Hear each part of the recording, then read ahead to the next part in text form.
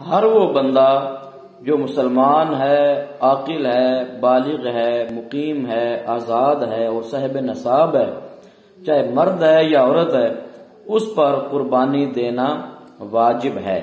और लाजमी नहीं है कि जैसे जक़ात के लिए साल का गुजर जाना शर्त है, बल्कि कुर्बानी के अयाम में अगर आपके पास इतने पैसे हैं, साहब नसाब हैं तो आपके ऊपर कुर्बानी देना वाजिब है।